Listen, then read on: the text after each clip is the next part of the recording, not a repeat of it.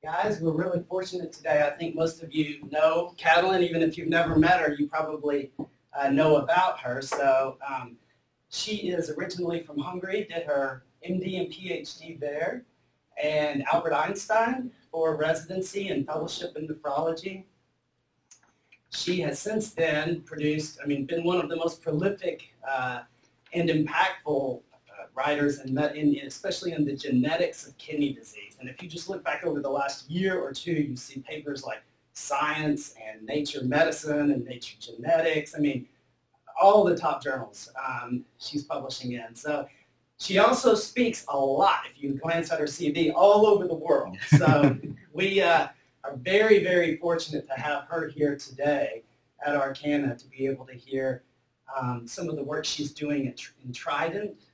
And uh, she said she might branch out into APOL1 or into uh, single-cell RNA-seq. So she does, she does a lot of uh, diverse research in kidney genetics. So if you have questions on any of it, I'm sure she's happy to answer those today. So Katalin, thank you so much for, for being here with us today. Thank you so much, and thank you so much for giving me the tour of this very impressive place. I, I know you from Twitter, but it's, it's, it's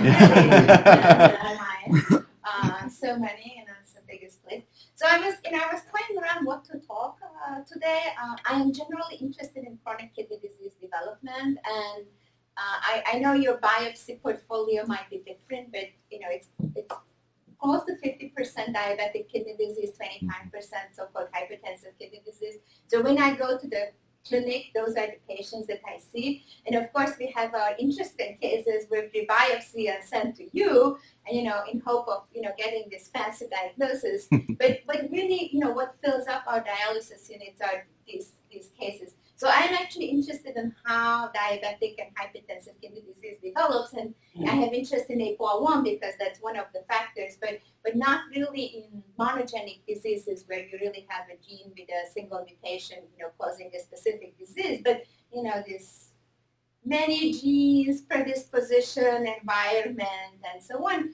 And um, I specifically decided to be this to my research focus. I moved to Penn about seven years ago because I know that the monogenic field is kind of saturated. We have so many mutations that almost it's uninteresting to find another mutation at this moment uh, because they are very rare. But I feel that um, our understanding of diabetic kidney disease and hypertensive kidney disease is very, very limited. Uh, and I think we need a lot of, you know, teamwork and, uh, and putting uh, all of our hats together to kind of understand it.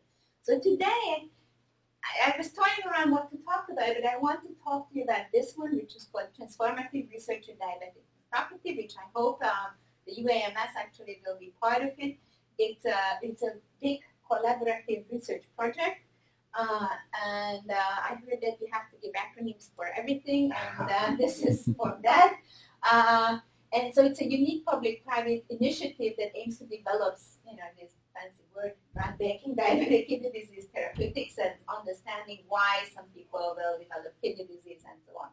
The, the major component of this that that there is a lot of cohorts for this kind of, like right at my institution, there is CRIC, the chronic renal insufficiency cohort, but none of them actually have tissue samples. And many people feel that this is kind of boring, you know, you know, what are you going to see and so on. But I don't think there is, a, we have enough. So the key element is that we will actually, actually obtain tissue samples and directly interrogate it. So some of them is essentially doing what you're doing. So I'm giving this talk because I'm hoping to get input from you on the pathology side, but also we, we do a lot of molecular profiling and, you know, combining the genetics and so on, kind of to figure out why people um, develop kidney disease. And of course, this has an outreach component, I said, where we have blood and urine samples.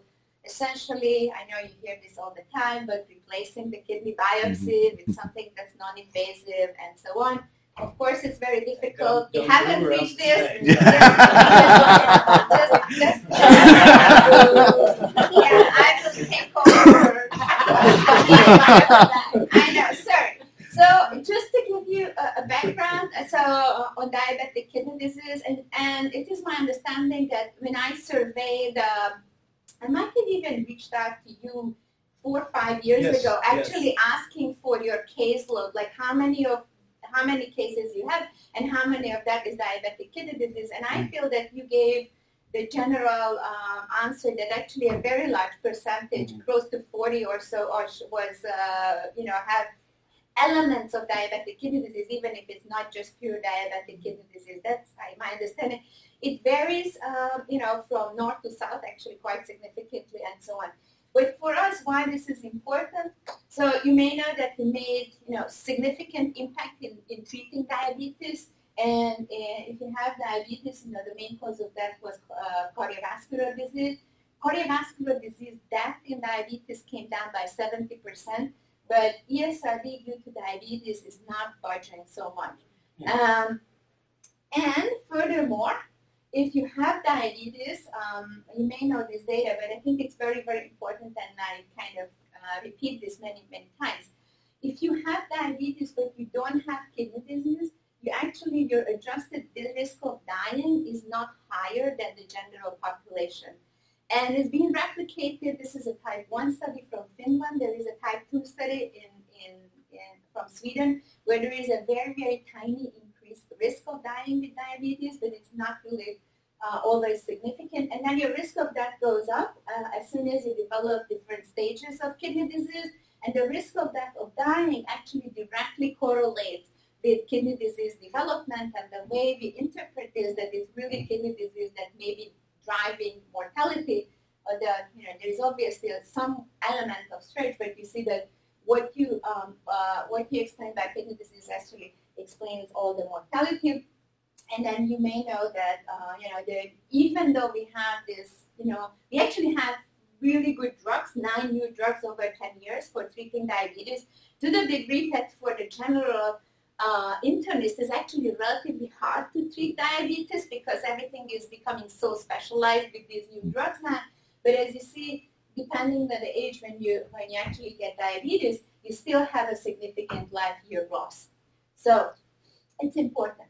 The other important factor that I think we need to consider is that traditionally, when you went to medical school, we taught diabetic kidney disease like that, right? So you develop diabetes, you have a stage of hyperfiltration, then it comes down, and then eventually you develop uh, ESRD. At the same time, uh, you know, uh, albuminuria develops, and then that goes to micro, macro, increases, and then, you know, essentially the two paths of albuminuria and GFR decline is parallel. Mm-hmm. And that's how we actually clinically, we, well, unfortunately, diabetic kidney disease remains a clinical diagnosis, which is a very significant problem for, you know, who are the people who are recruited for clinical trials. That's based on this. And this comes down, you know, before probably Chris was born. This is from the 60s by Mogensen when we did not have insulin. You know, it's purely observational cohorts and it's based on like 100 people. Okay? so what we see now clinically is something like that. So you have a, a, a large number of patients with microalbuminuria. You have a large number of patients with reduced kidney function. And there is an overlap between the two, but there is no full overlap. So these are the people with macroalbuminuria and the overlap between micro, micro and GFR decline and the macro. Up to close to 50% of patients with diabetes actually having kidney disease, but it's not that everybody with diabetes have you know, reduce GFR and albuminurias. And probably you are getting cases as well. But what we are missing, and we kind of touched on that last night, is we don't know how this relates to the gold standard definition of diabetic kidney disease, which is still histopathology, you know, the GBM thickening, as in my understanding, is still the most sensitive criteria. If you don't know people who have reduced GFR but no albumin, what's their histological lesion? What is the difference between the two? So we have a disease that you know fills up our dialysis unit, but we really don't know uh, what's the manifestation of this disease. And that may be because you know the drugs, uh, the way we treat diabetes has changed. We have ARB, we have better glucose control, or forgive me, but you know, some of these old studies were really, really small. It's really like 100 people, uh, you know, by Mogensen, which actually described that, oh, you have microalbuminuria that progresses, and then you have uh, kidney failure. So the goals are essentially to get the tissue, get the urine and the blood, enroll a lot of people and do the sequential, uh, you know, clinical data, histology, RNA, epigenetics, genetics, and so forth, profiling, and kind of correlate that with kidney function decline, right? Uh, for for pharma, I mean, for us, we could have set different goals, but for industry, really the key question is who's going to end up on dialysis, right? Who's going to progress fast and who's not going to progress fast? So therefore, the goals are articulated to identify pathways associated with rapid progression. Granted, we don't have a definition for rapid progression. We use this five and slow, and then use that by interrogation of the genetic, epigenetics, and gene, uh, gene expression profile from the kidney samples, essentially putting all the data together for everybody and see what we have. How does diabetic kidney disease look? I don't know, 60 years after Mogensen or something like that in the modern era.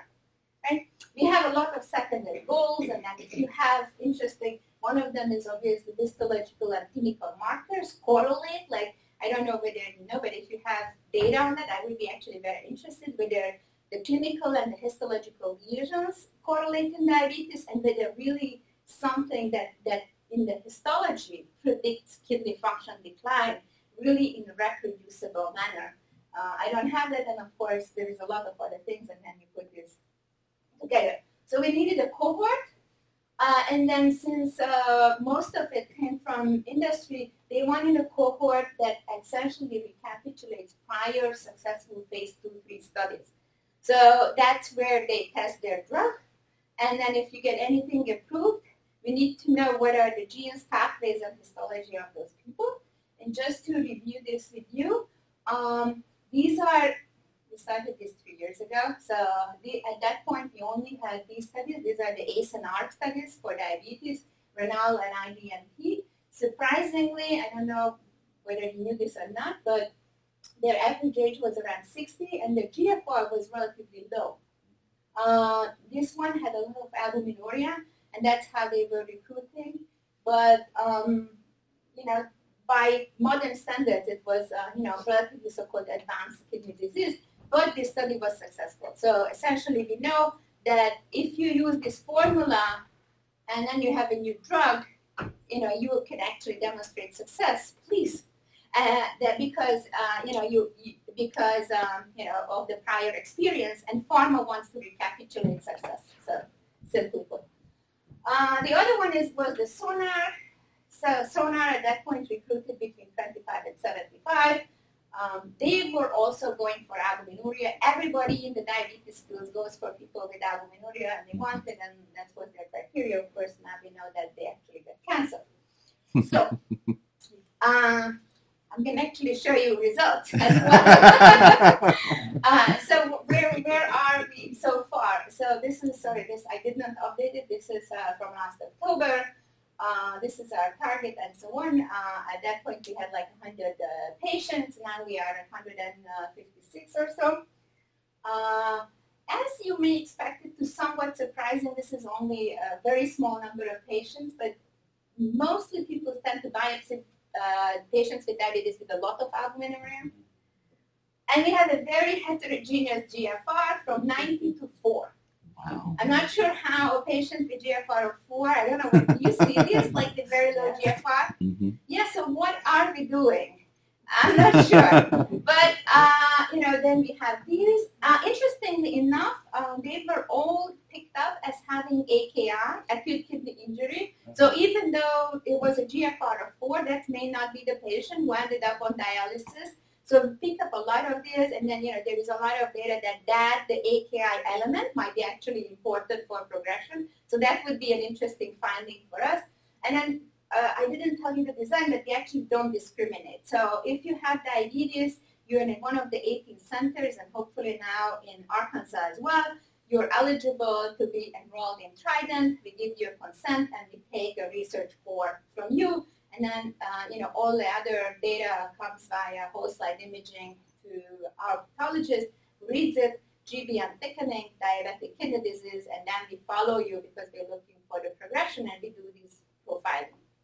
So they're indication biopsies. They are indication biopsies. But one but, of the cores is, is yeah. saved for one of the scores are saved for research. And then what you see here, that the mean is around 30, and then we have a very high albuminuria, so kind of relatively similar to the successful IDNT study. Yeah. Intuitively for us, it seems low GFR, but it's it's it's this you know it's the prior success formula. The other issue was that at that point we didn't know about um, uh, you know about the risk and the safety of the biopsy. So one you know one thing that we would like to achieve with Trident is maybe if we are if we can actually demonstrate something that correlates with progression. I don't know what is the something. I mean, we are trying to capture everything, trying to push that uh, either clinically or from the path to push people to biopsy people earlier with diabetes, essentially taking kind of an added risk, which is seemed to be relatively difficult at this moment, but maybe we will be able to change practice if we capture 400 patients with diabetes. So that's good business for you. So, uh, so we will work together changing the landscape, but I am really pro biopsy. So mostly heavy proteinuria, variable GFR. There are patients with AKI. Uh, we have been thinking about excluding patients with low GFR, you know, kind of improving our GFR. Clinicians love to have like GFR and the biopsy, but it's not, there is nothing really uh, standing out why we should be excluding the, you know, the GFR of 4 because that patient actually got better. So we are going with the design and then we're capturing more. I'm not going to talk about this, but I'm curious to hear your opinion. Obviously, we are capturing um, uh, all the pathology.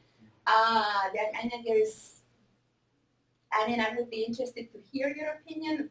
Currently, our idea is, you know, have all the elements in the kidney, the glomerulus, the tubules, the vasculature, and the interstitium, and use a scoring criteria essentially to make, to generate a unified database.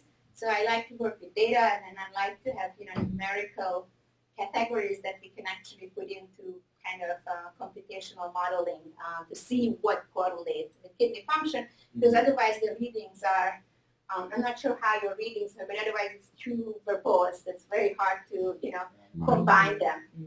Um, that's where we are. Uh, I don't have the data on that, but now we have uh, results on a relatively large number of them, and it seems to recapitulate the Columbia biopsy series data.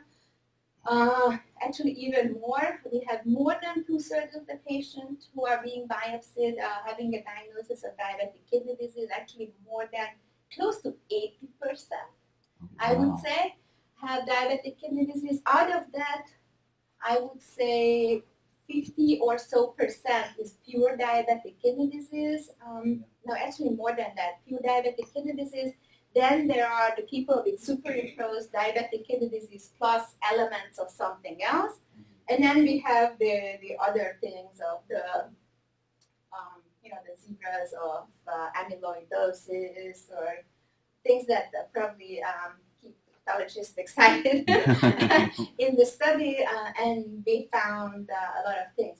According to the Columbia biopsy series, uh, and then we don't have our full data yet, uh, we can't really predict based on um, serology who's going to have diabetic kidney disease, who's not going to have diabetic kidney disease, except the years of diabetes.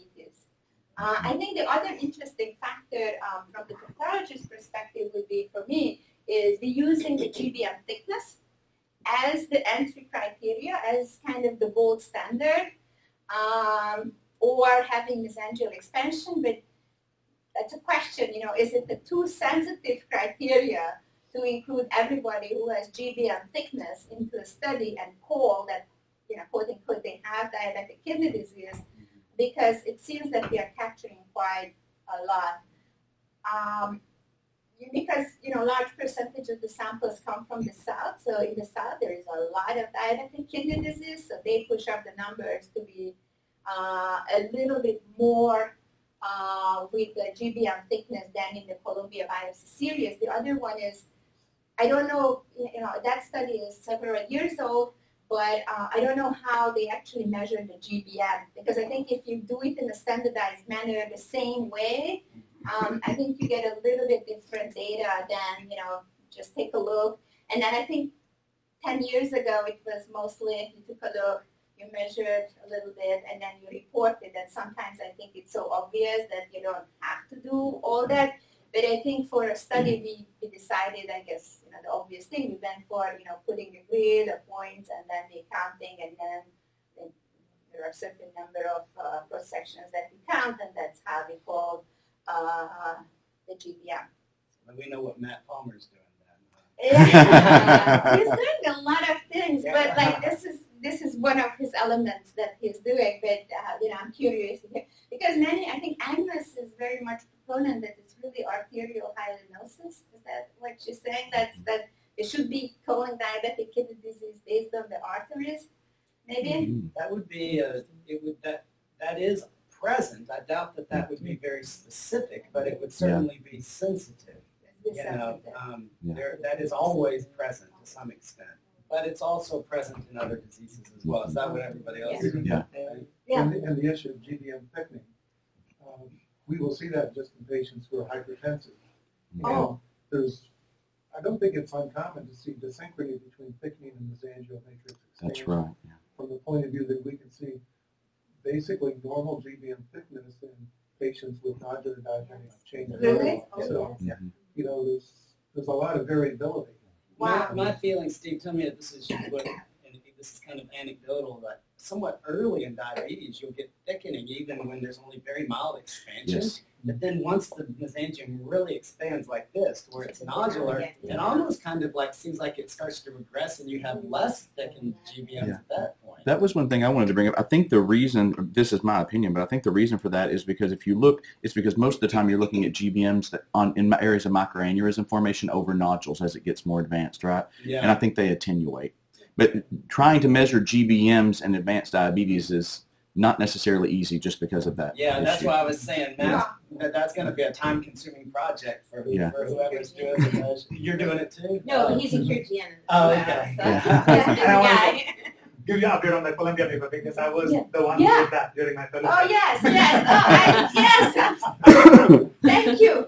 So We yes, use this all the same time. reasons. That's why that's why we didn't include GBM thickness because there's a lot of variability. Like smoking is also one of the factors. Mhm. So we made it very simple. So clinically, diagnosis of diabetes is important. So whenever the clinician suspects diabetes, then we consider diabetes. And we divided diabetes only in two categories, diffuse and nodular, not in the stages which was subsequently published, Yes, yes. right?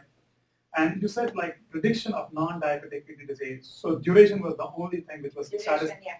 But for prediction like non-diabetic kidney disease superimposed on diabetes, complement is actually one of the very sensitive markers in the serology. So whenever you have low complements, chances of having a superimposed non-diabetic kidney disease is very high. It was not, yeah, it, that was a very strong trend, but we didn't have a place to put it. But that is that was one of the very Okay. sensitive things. Well, it's too bad Dr. Walker's not here. He's not here. Yeah. Because he's doing it He's with, traveling uh, today. I think, what, six thousand Yeah, Yeah. Diabetic kidney biopsies doing clinical pathology. Yeah, not with, Correlation. not with the detailed GBM. No, no. In, in Right. Yeah, we're not gonna do that again. analysis? So what is the purpose? Like what is the, It's just kind of an expanded cohort. and then compared so to for a- a publication? large- Yeah. It's been in. So, so, so I have to time. be fairly honest, so the, the criteria actually says GBM thickening or mesangial Okay. expansion. My problem with the mesangial expansion, so I have to be honest, I am a number girl. Yeah. I love. I understand To look that. at the picture, it's very disturbing for me because you know, even just this segment of the picture, there is so much information for me that I cannot quantify. Yeah. So, Right. for example, mesangial expansion.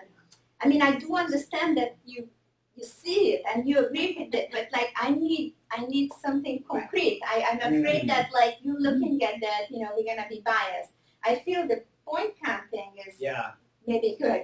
On the other hand, I you know I I think so we capture all the samples, so nothing has been lost. But I think an important issue would be is you know have we missed anything, and then if we have like more sensitive criteria for diabetic kidney disease, you know. Should we go back to the people who we did not classify as diabetic kidney disease? Um, I don't know. I am open and actually it will be very interesting about knowing what is happening with 6,000 patients with diabetes. Um, you know, Well, one way you could quantify the mesangial changes, you could say, GBM thickening without mesangial expansion, mesangial expansion without nodules, and nodular mesangial expansion greater than or less than half, And you could put like a Yeah. one, two, three, four number. That's that new But like- RPS classification scheme. Exactly, you Yeah. kind of model that. Yeah. Mm. Yeah, or if you're doing morphometry, like I said, if you're doing whole slide imaging and everything, you can, you know, create a total mesangial volume divided by the number of glomeruli as well. So now we move this to, um, you know, more computational analysis, but Mhm. as you know, that's in flux. Yes. And uh, so we are also trying to find Yeah. features in here, but Yeah. it's not, not, not absolutely obvious. I think one of the most interesting things to us too is the fact that uh, only about a quarter, as you mentioned, of patients actually develop end-stage renal disease due to diabetes. I wonder, have you, is it possible for you to come up with any sort of quantification of nephron number? I mean, of maybe you're total skewed, you know, maybe that's a group that's skewed towards, uh, you know, oligonephronia. Yeah, so so technically we feel we will capture that because we do like epigenome analysis, genetics, and so on. So hopefully that will be captured in other mm-hmm. type of information. But obviously we don't have like an imaging component, which could be potentially interesting. And then we are looking for, to be honest, so the reason why I'm going around, we're looking for anybody who is interested and have a question here uh, you know, to work on the data set, and especially because we have whole slide images. So if you're a pathologist and, you know, you have an idea in here, you know, we have all of this for you, you know, the EM, the IF, and, and then, um, then the whole slide images of uh, finding features of any of those.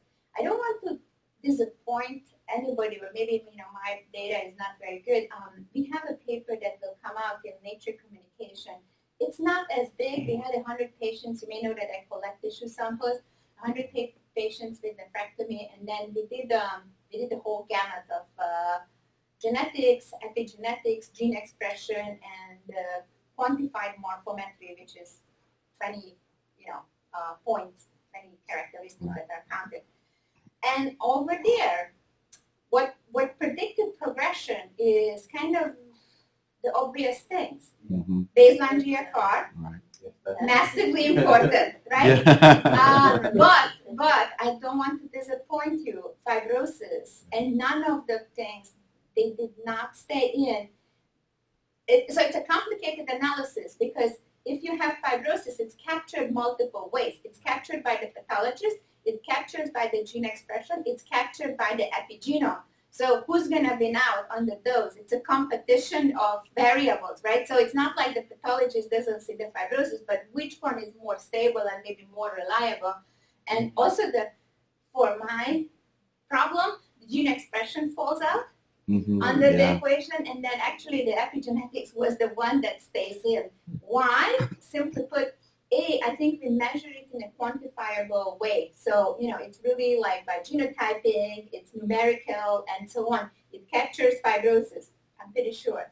Uh, also, it's not gene expression, right? Having a sip of coffee is going to change my gene expression. So the variability in gene expression is greater but in the epigenome, you are essentially capturing gene expression, but it's greater stability.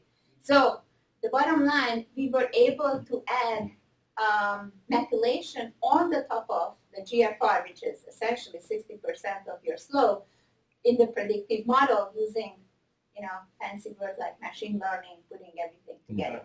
Uh, Yeah. yeah, replication is of course needed, but that's, uh, you know, the data at face value. Yeah. That's a good question about, gene- I mean, in the genetics of diabetes, I mean, this is a highly heritable, type 2 Yeah. diabetes has a very high concordance. Yeah. Um, so there's, a, there's certainly a genetic component to this disease, the polygenic.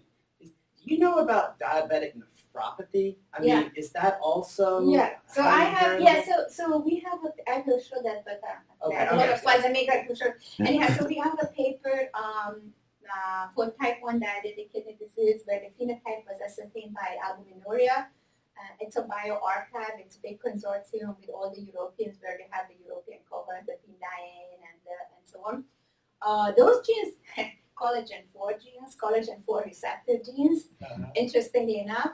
Um, the other uh, analysis is based on GFR. You know, GFR in, in patients with diabetes, the heritability of GFR is close to 50%.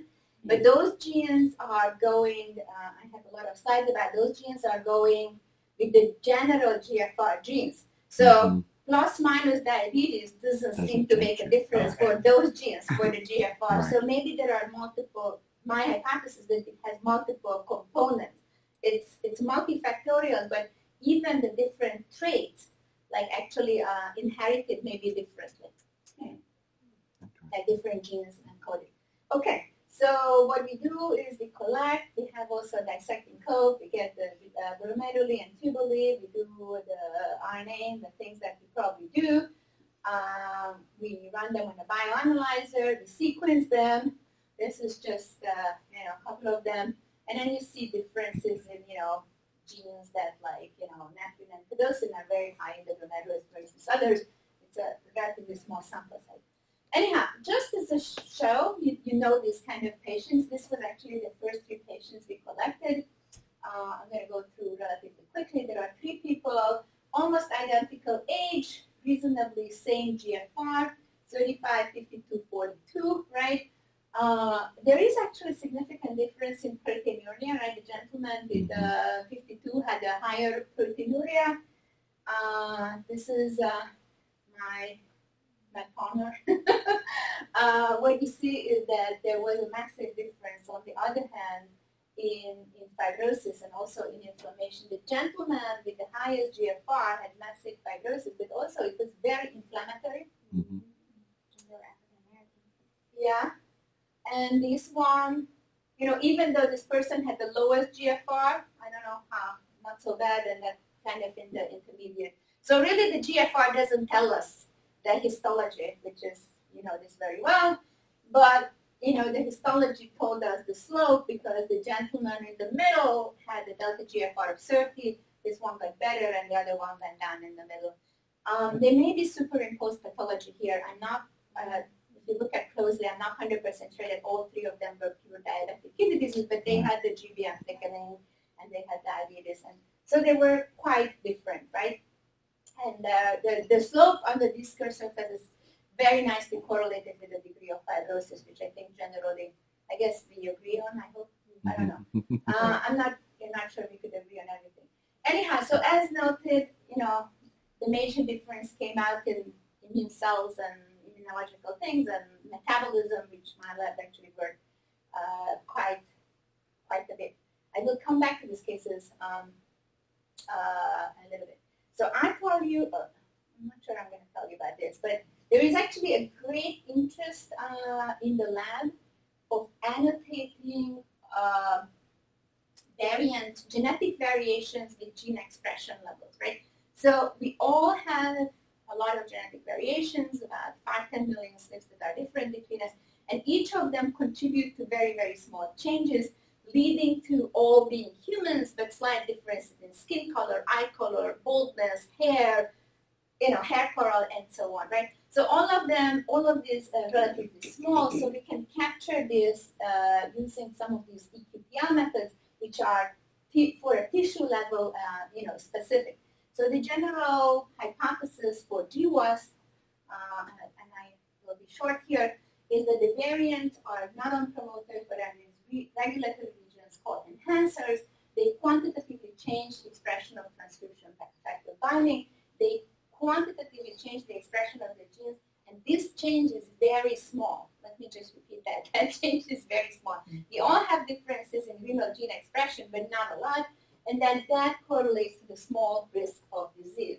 And so the idea is that GWAS essentially just annotates the variants with the disease risk, but if you do this, uh, you know, variant gene expression uh, correlation, we are actually able to correlate what the, you know, what are the genes that are regulated, and if the, you know, condition fulfills both criteria, then we will call it this is the putative causal gene that increases your risk of kidney disease development, uh, the current model. And then the really hope is probably here not the individual genes, because the individual genes, even in the monogenic disease there, is probably not absolutely critical.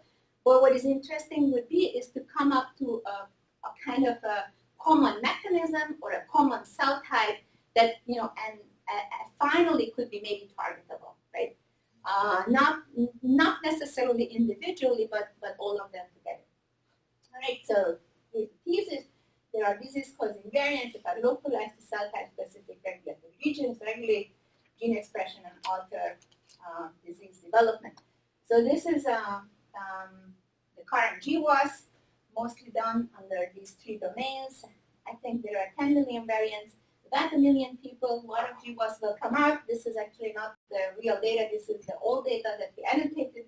This is phase three, where you see overall sample size was about 100,000. And what you see here, that there are overall and non-diabetic ones, but essentially, under if you do a GWAS for GFR, there is really not a huge mm. difference whether you do it in the patients with diabetes or in absence of diabetes, which would unfortunately speak against the fact that diabetes is a specific pathology, I feel.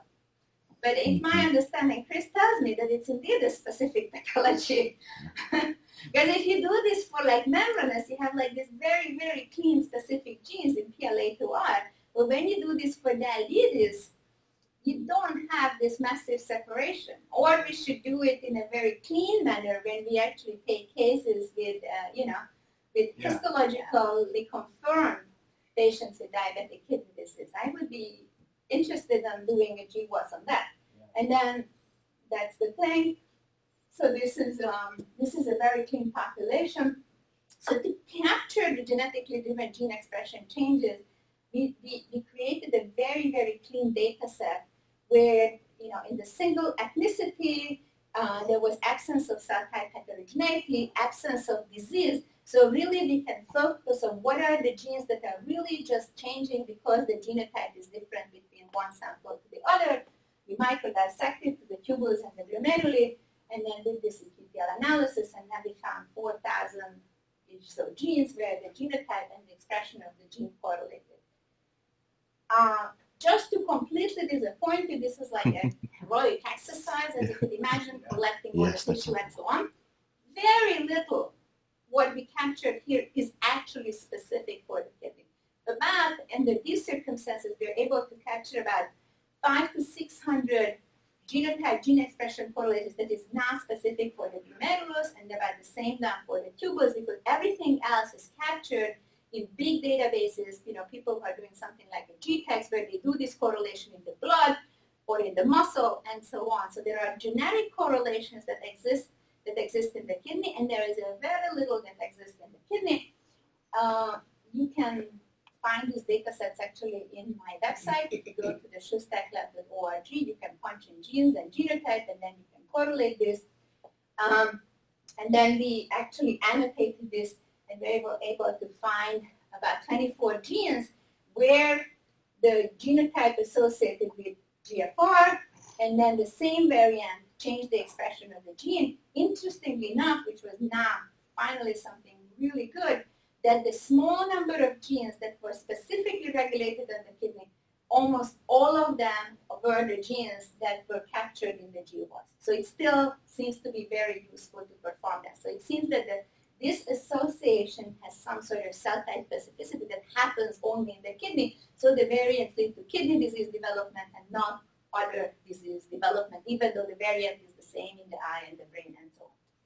So we worked on one gene specifically called DAB2, which is the SNP, where, which actually correlates with the GFR. The same SNP actually changed the level of this gene called DAB2, which is an adaptive protein. And I really don't want to talk about that. There are methods to capture these regulatory regions with ChIP-seq, and then you can actually see that there are, this area is in a regulatory region. So these are kidney-specific tracks, these are macrophage-specific tracks. This is um, seven cell types that are superimposed in, in a database, and you see there are these peaks that seem to be specific in the kidney, and there are these others that are essentially generic. Macrophages also have like specific peaks. So most likely the reason why this SNP is associated with kidney disease because it's a regulatory element somehow in the kidney and specifically regulates the expression of these genes. And even though consortium did a lot of analysis, they couldn't find it because it really only happens in the kidney. All right. Um, So the integration of tissue gene expression and genetic data is key to success. And I have to be honest, this is the route that we are taking right now. There's a lot of GWAS, and we really just want to find the genes, even though their effect size individually is relatively small. But maybe if we put them together, there are also genetic risk scores, um, they kind of show some sort of some pathway that maybe we can target. So just to make sure I'm clear, you're taking like these intronic variants that are detected as significant in the GWAS. Yes. And then you're and then you're asking, uh, it, what does this variant, what effect does it have on expression of genes in, In the kidney. kidney? compartment, Okay. exactly. And in the same variant associated with the risk of kidney disease and alters the expression of the gene in the kidney, then that gene will be a candidate for kidney disease development. And I would still say candidate because I think we need, um, you know, models and other type of proof to show that these are truly contributing to Mhm. now this is most likely all of us risk for kidney disease development because it's very unlikely that in this room we are actually capturing anybody who has like a exonic mutation for kidney disease, but everybody has variations that predisposes you for kidney disease development, right? But they are relatively small. Well, the, the neat thing about this is potentially the hope would be that, if, well, in all likelihood, diabetic nephropathy, for instance, is, is 20 different diseases, kind of. And there are mm-hmm. multiple pathways right. involved. Yeah. And so your diabetic nephropathy may be different from my diabetic nephropathy. But if you can identify in an individual patient what pathways are involved in their disease, you could potentially individually target that patient's disease. Is that the So that is hope? that that is the hope. Um, that is the general like precision medicine hope, Sure. and I will Yeah. I will distill my views in the next Okay, set good. of five to ten slides that are slightly complicated to you. Um, so precision medicine, I think, in a way that really specifying it has not really panned out Right. because we Mhm. don't have large effect size variations that we can actually kind of partition the population. At least for these diseases, for QGN, for membranous, you good. You you have your you have you know where you have to work on. But but you know it's really not my patients, unfortunately. All right. So here is the idea. So what we did is, um, as Patrick uh, alluded to this, we get interested in one very critical question.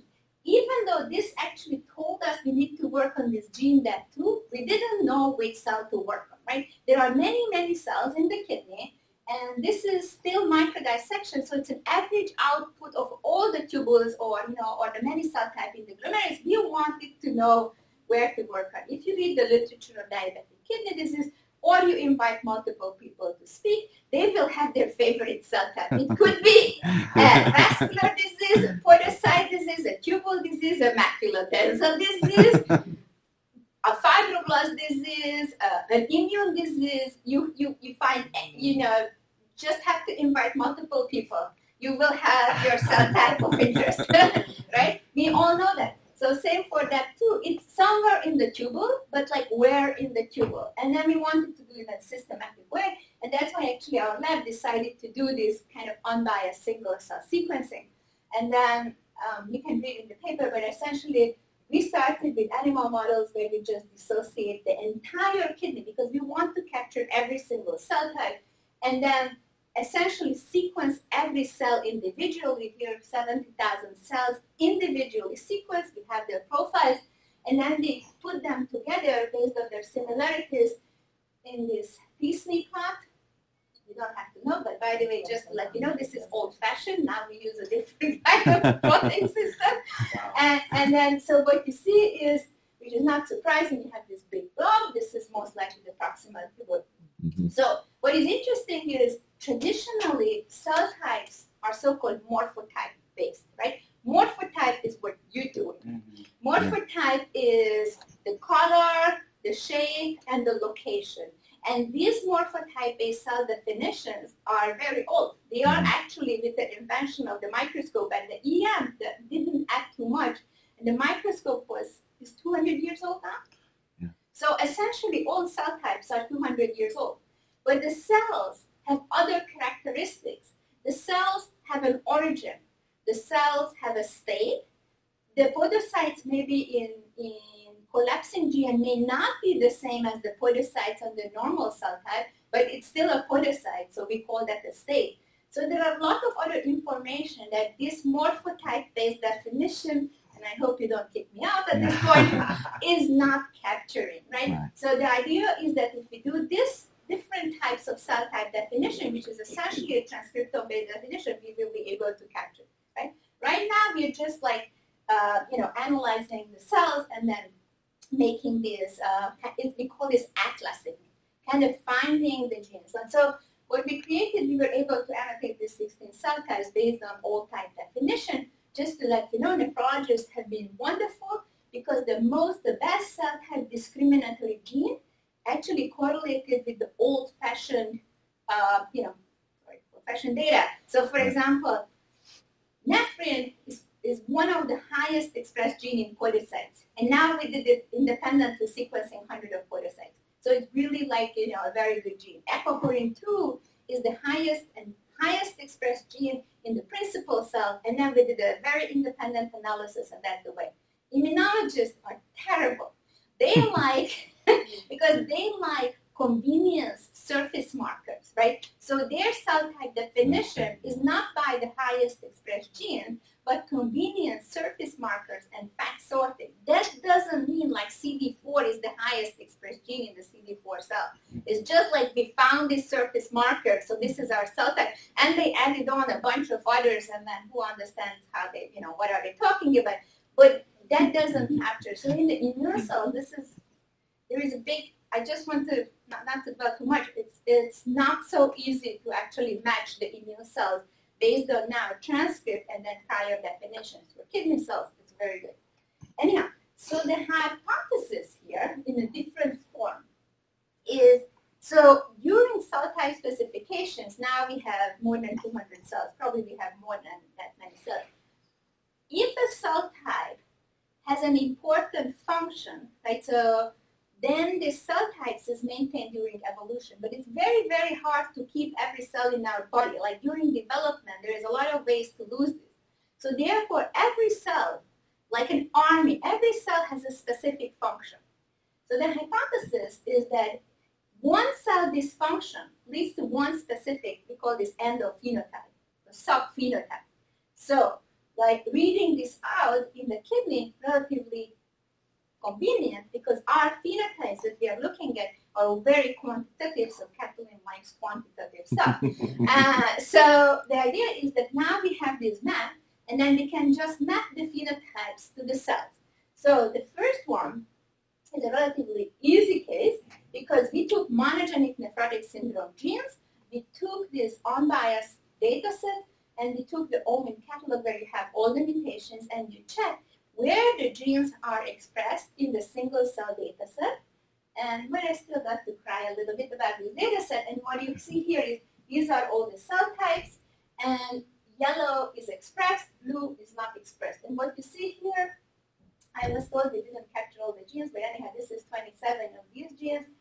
And then almost all of them exclusively expressed in the podocytes. What it means that these genes almost have a unicellular expression in the body, right? So actually the mutations are tolerated. You're born. Uh, but your kidney is going to be, your podocytes is going to be messed up. The function of the podocytes is protect you from proteinuria. So this is the disease that you're going to go down, right? So if you would have a gene that's broadly expressed, your phenotype would be, you know, manifest in multiple places, your brain, your eyes, and so on. But these are not. These have seems, seems to have a unicellular expression, and we can read out the function of the cell. The function of the cell is really protect you from proteinuria. So then we went through this hypothesis. Yeah. Oh, I mean, what? I know this isn't the point of We your talk. into our what? Yeah, well, what No, about? no, I don't know. you probably get asked that a lot. Next slide. this guy, mentioned, he seems like trouble. Anyhow, so uh, so you, you know, we, we, we constantly have to redo this. You know, this was the earliest one, and also this is mouse, right? Okay. So uh, now we did it for other things like blood pressure. So uh, maybe not so pretty also, but we map monogenic blood pressure variants. So uh, Lee Clifton worked on this, you know, blood pressure extremes, the pink genes, and I think he should be happy to see this, but most of them are expressed in the distal collecting tubules somewhere in here. Also, this is the earlier data set, the cell type annotation may not be so perfect. And then we mapped the blood pressure GWAS, like using the same, like I explained to you this variant gene annotation using EQTL. So these are like, you know, high confidence genes that this is really causing uh, blood pressure experience. And then we see that they enrich on the same cell type. So they are also enriched in the DCT. The genes are completely different. There is no overlap of the gene that the mutation causes blood pressure extreme and the genes defined in the GWAS. But of course, we would like to propose that the DCT is maybe important for blood pressure regulation. And then we did it for you know multiple other traits. The best one to map is actually metabolite traits because uh, genes that regulate metabolite traits in the human body, maybe not so surprising, almost all exclusively expressed in the proximal tubules. All right. So now taking this to the next level. So this is the way I think about precision medicine or personalized medicine. So kidney disease is relatively broad, but it has multiple endophenotypes, right? So one of them is decrease in filtration. And then when people do the GWAS, it's actually always just for filtration. And I don't know whether that's like the only trait in, in kidney disease, but that's what's important. And I kind of disclose this to you, variant genes EQTL. But these genes uh, show enrichment in the proximal tubules uh, as opposed to others. And we kind of had a discussion with Hunkos why the proximal tubule is important for GFR. But in a simplistic manner, there's a lot of people, if you have a podocyte dysfunction, you get proteinuria, but you don't get GFR decline immediately. If you have an APM that affects your proximal tubules, your GFR goes to zero. Mm-hmm. I don't know why, you have your expert right there who, who knows about your glomerulus and tubules role. But I think in a simplistic manner, there is something that fundamentally we may not be understanding about, you know, how GFR is regulated. Right.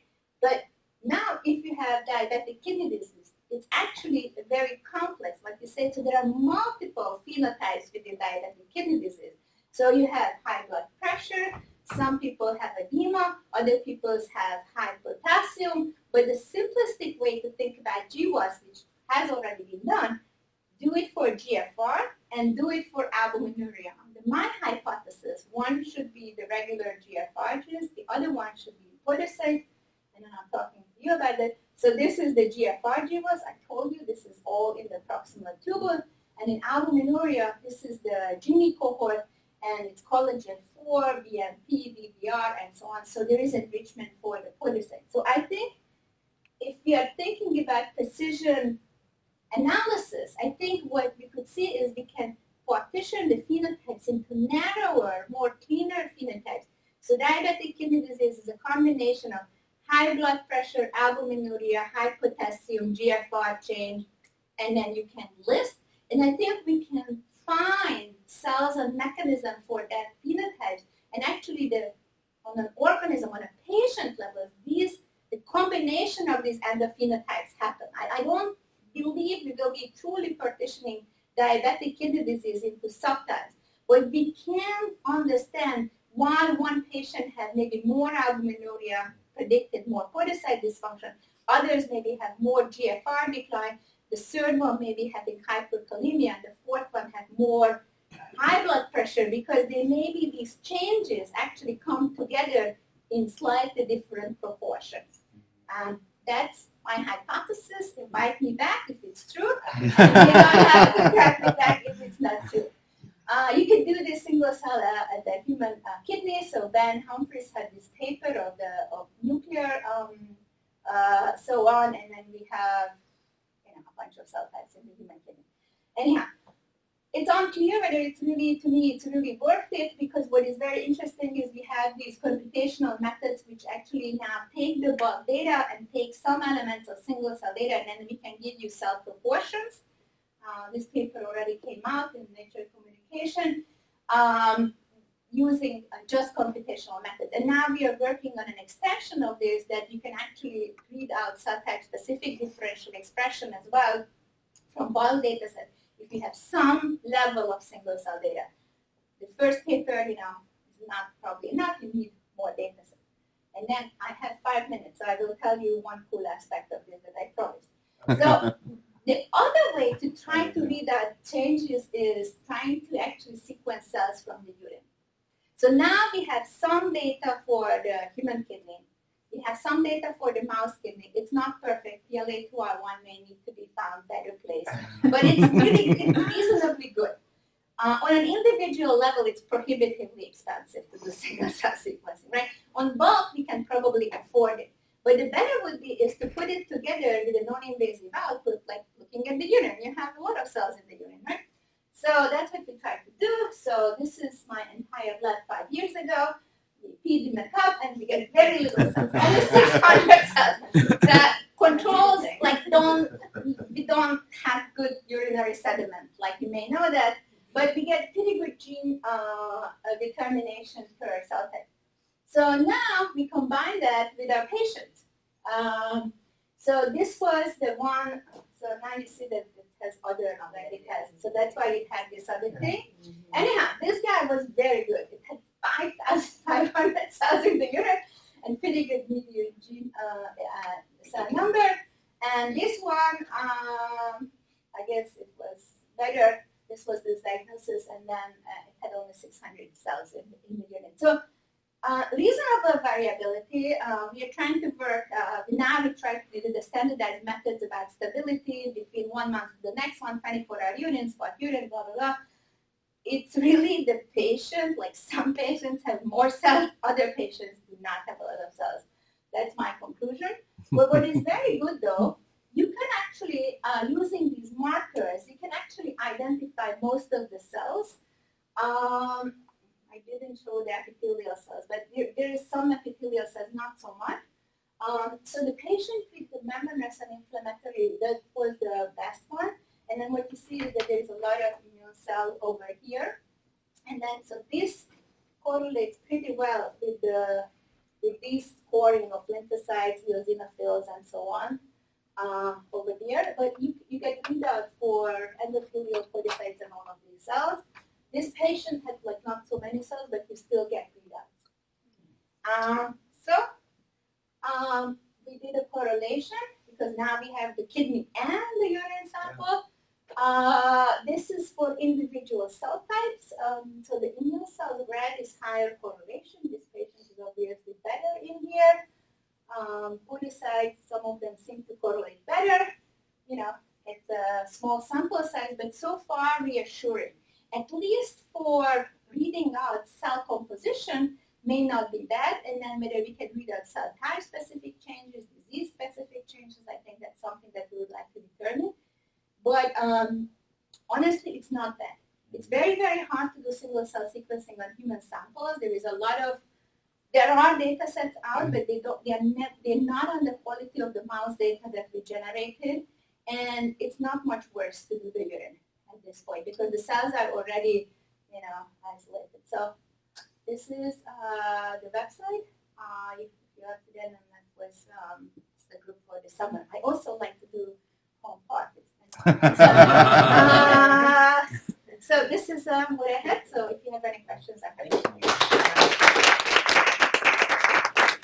A few minutes for questions. If anybody, I think we kind of asked a lot of them as we Yeah. went, Yeah. but this is a really practical question, but we have a biorepository and we collect urine from some certain diseases. Um, It's What? ten hours. Sorry. are, are there, um, Ways to do I that. mean, how do you, how do you preserve the urinary? So that's just so- on the spot and we did on the spot. So first we want to see how it works and Yeah. then you, you will try to improve it. According to 10x and according to some groups, you know, it's it's portable, like you can, you know, Right. transport it and you can still get good data. You know, you always go down on quality, right? Mhm, Yeah. Uh, so the question in my mind is what you can afford. Uh, and then I think right now also, but the quality of single cell sequencing is improving. Mhm. So you may want to wait a little bit until you Yeah. that quality improves versus your, you know, biological problem, um, you know, plays in that you get an, you know, an outcome. Right. It's pretty expensive. It is, yeah. It is quite expensive.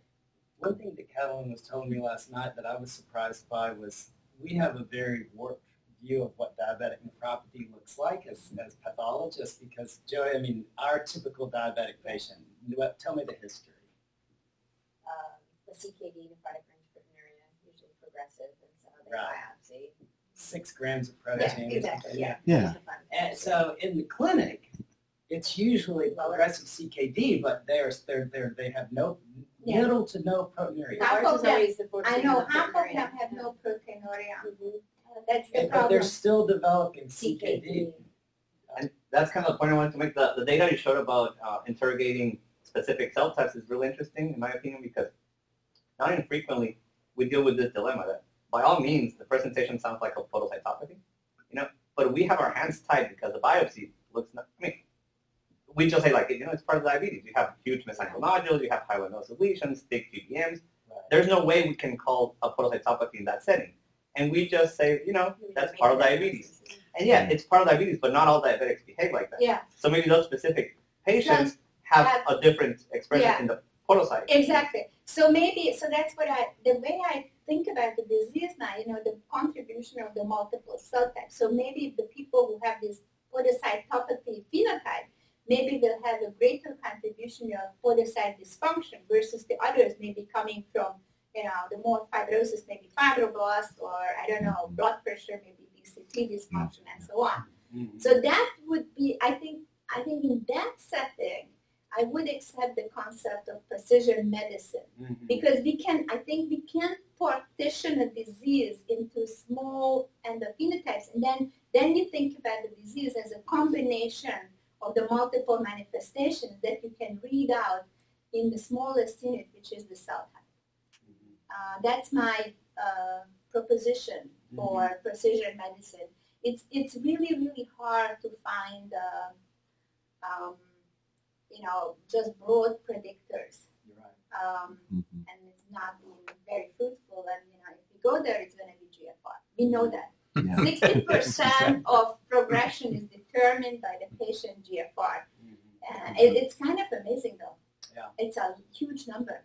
What about the role of obesity? I mean, you're comparing Yeah. data from 60 years ago, and the prevalence of obesity, I assume, was much There is a lot of data that obesity may be the factor that that's actually, you know, um, things. And so, you know, we capture all clinical variables, we will put it into Gives you equation, and then maybe it's gonna come out, you know, we don't know. Well, human diabetics oftentimes have so many risk factors for CKD other than diabetes. Mhm. Hypertension, obesity, hyperlipidemia, three in of themselves, and they synergize, and any other patient with diabetes is going to give them CKD. So, uh, and uh, so I, when I look at the morphology, do, you that know, they smoke, yeah, exactly. risk factor. But it- Medications, PP, all, many of them have GERD, PPIs, and Yeah. all sorts of different medications that are damaging, have the potential to be nephrotoxic. So, you know, diabetes in of itself, that's why when we look at a biopsy, we're often looking at the morphologic changes in the glomeruli to tell us what degree of diabetic change there is relative to the patient's clinical history. And so there's not a lot of Yeah, so diabetic that- change, Yeah, so that's why I am In proposing that, you know, that it's essentially a combination, but we don't, we could now dissect which factor acts on which cell type, right? So I would propose that the PPIs may, may act on the intercalated cells, right? Because Mhm, that's where the right. proton pump is. So, absolutely. so maybe you can actually read this out if we, if we now partition things into, you know, where, like, for example, very important question, where, which cell type obesity act on? So I obviously propose that albuminuria act on podocytes and the GFR seem to be enriched in the proximal tubule, the hypertension and the DCT, acidosis and the intercalated cells, but where is obesity? Which cell type should we think about or, you know, maybe that's not a single cell type, but no. I love your thought process because you're focusing not only the thought process and the thing which you say, uh, state of a cell is also very important Yeah. because just the podocytes which you mentioned, the state of a podocyte in FSGS. Yeah. Diabetes, Yes, diabetes with FSGS. yes, Crescent, like IgA, is it a crescent or is it an FSGS? State of a cell is very important. So that is again will play a very important role. And yeah, so you guys working with us? we have uh, tissue, we have, uh, you know, we have data, and then we are looking for, you know, anybody interested uh, giving us ideas how to use it.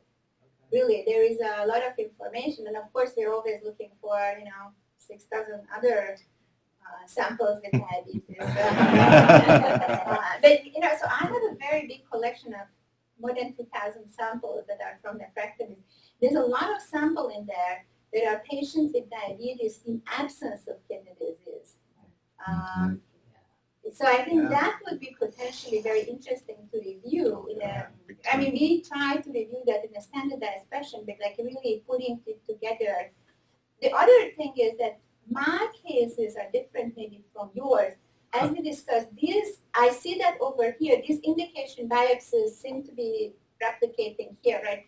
Yeah. A lot of proteinuria, relatively advanced GFR, blah blah blah. But the patients that the, the, the, the samples that I have are from the general population. We have a lot of these no albuminuria, low GFR patients with diabetes. Um, or diabetes in absence of kidney disease. Well, I mean, I know the diabetes people really might like the duration of diabetes, but you know, Yeah. let's be honest, who knows the duration of Yeah. Yeah, exactly. So that's an issue, but I think to review that in a standardized manner and also Show- compare show it tell. with the indication biopsies would be interesting. Because I think the samples we have may recapitulate the general population better. Yeah. Well, let's let's move on to the consensus conference. If you want to um, run and get your cases.